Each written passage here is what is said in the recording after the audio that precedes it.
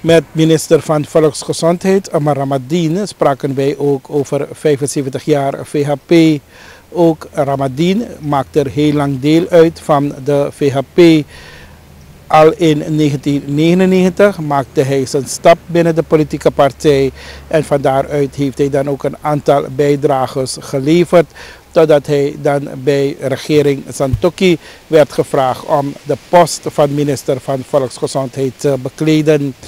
De minister ging er in op aantal zaken rond 75 jaar VHP. U hoort Amar Ramadin, VHP-topper, tevens minister van Volksgezondheid. Um, ik heb in 1999, toen ik 17 jaar was, heb ik de uh, tweede kadertrainer van de VHP gevolgd. Toen was uh, de voorzitter Jagannath Lachman, nog voorzitter, nog in leven, twee jaar voor zijn overleden. Heb ik uh, in de handen van hem mijn kadertrainercertificaat uh, ontvangen. Um, en ik weet nog dat ik een presentatie toen heb gehouden voor, over internet. Want internet was toen nog in de, in de startblokken. En uh, één opmerking die hij maakte was... Jongeman, je gaat te snel. Het leek alsof ik sta aan de zijlijn en er gaat een trein voorbij. En ik kan die ontwikkeling niet bijbenen. Maar oké, belangrijk is, ik heb een keuze gemaakt. Dankzij de VHP heb ik ook de kadertraining mogen volgen. Ik heb, ben heel erg uh, inzichtelijk gemaakt over de staatsinrichting, over diverse zaken. Ik ben ook thuis met de paplepel uh, opgevoed in de politieke arena. Uh, om het maar zo te noemen, mijn vader is politiek analist. Maar ook bij de VHP uh, voel ik mij prettig en thuis. En inderdaad, na mijn, kan je zeggen, na 21 jaren bij de VHP is mij de positie aangeboden. Ik heb de kans gehad om op het hoogste niveau in het land beleid te gaan maken en zeker als ik kijk naar mijn professie op, het, op mijn vakgebied. En uh, ik, ik, heb, ik doe dat met mijn, al mijn hart en ziel. En ik ben de partij natuurlijk ook dankbaar dat ik in die gelegenheid ben geweest. Um, en ben om, uh, om beleid te maken. Wat, waarin zit die uitdaging volgens u, nu bij de partij, maar ook bij die regering? De uitdaging zit uh, in het uh, herstel van al hetgeen wat is vernietigd in de afgelopen periode. Um, de zorg heeft uh, desastreuze effecten gehad als gevolg van uh, macro-economische uh, ja, achteruitgang.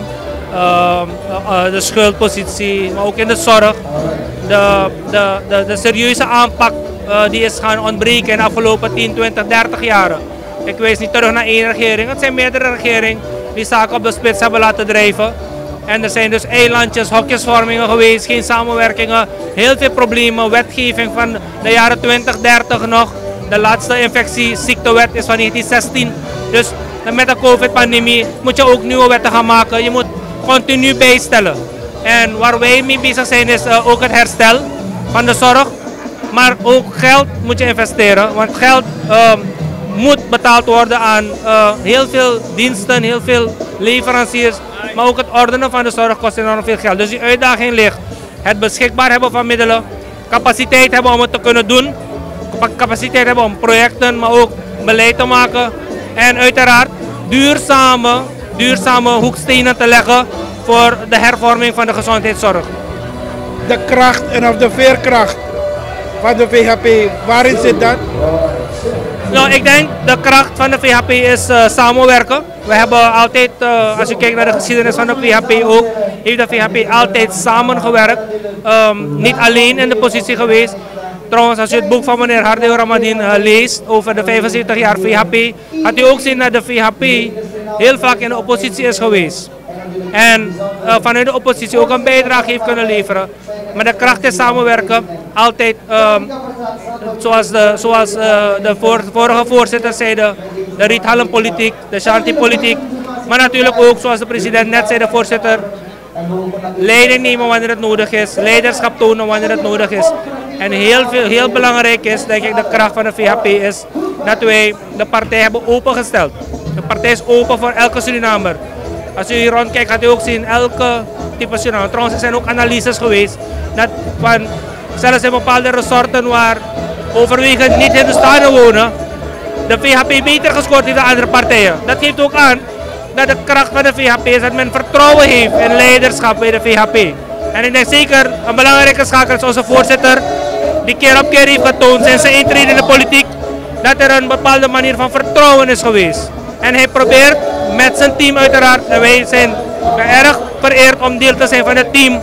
Om Suriname denk ik uit het diepste, het diepste dal gehaald te hebben uh, waar we nu zijn. En we zijn er nog niet. We moeten ook eerlijk zijn.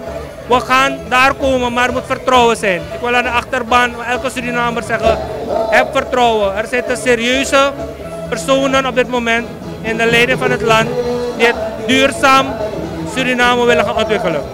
De onderscheiding van VHP ten, opzichte van andere partijen, waarin zit dat volgens u?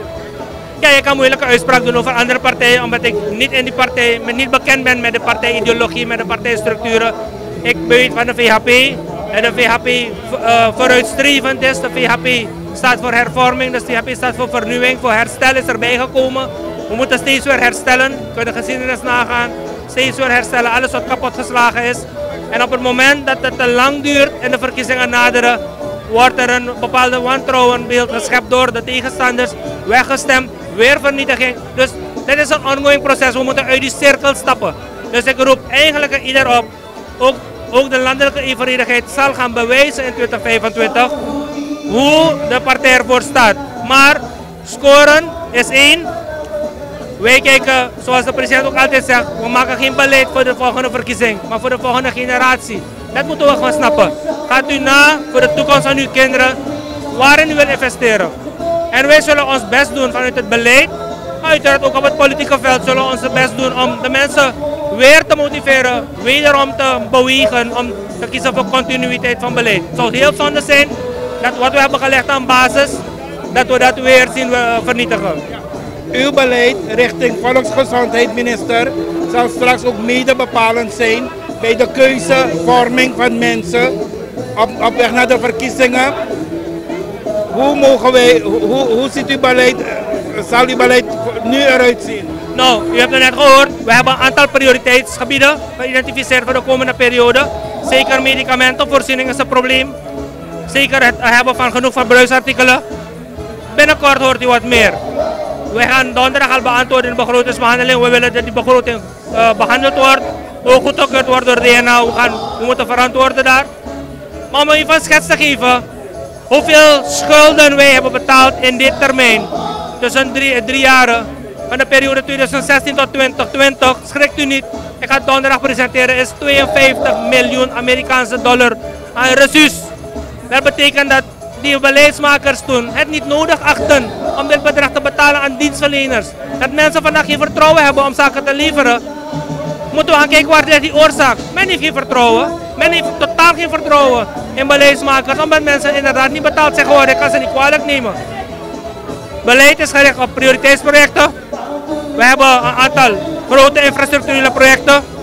Ik kan nu nog niet alles prijsgeven omdat de financiering nog niet helemaal rond is maar wel uitvoerbaar is in de komende periode.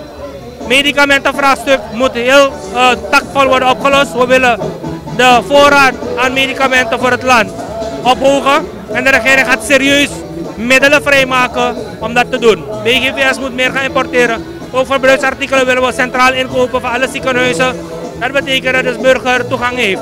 En uiteraard zijn er altijd van die kleine problemen van vakgroepen op bepaalde afdelingen. Maar dat is het probleem als je dus niet structureel een probleem hebt opgelost. En dan zijn er dus losse problemen gaan ontstaan. Maar alles staat in verbinding met elkaar. Dus dat is die focus. Het probleem, laat me zo zeggen. Ik heb een goed beeld, maar Tifa van onze gezondheid heeft een compleet beeld. We weten precies waar het brengt. Meneer Ganesh, niet om wat. We weten precies waar die schakels fout zijn. Soms is het geld, vaak is het geld. Soms is het, niet soms, heel vaak is het samenwerken. In de zorg ook hebben we dat probleem van samenwerken. We moeten meer gaan samenwerken. Bijvoorbeeld neem kankerzorg. Overal wordt er wat gedaan. In Diakonesse heb je een, een, afdeling chemotherapie. In AZ doen we chemotherapie, we doen chirurgie, we doen bestraling, we doen diagnostiek.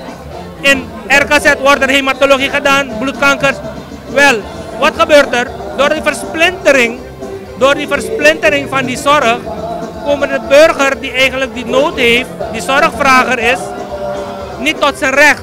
Wat wij zeggen, centraliseer alles in één ziekenhuis, waardoor de kankerketenzorg opgezet wordt in één ziekenhuis met garantie voor genoeg personeel, genoeg specialisten, alle middelen bij elkaar brengen, dus resources bundelen, geen inefficiënties en de patiënt uiteindelijk heeft het comfort om op één plek behandeld te worden. Om dit gedaan te krijgen, ben ik al drie jaar bezig te praten. En ik ga geen vinger wijzen aan niemand.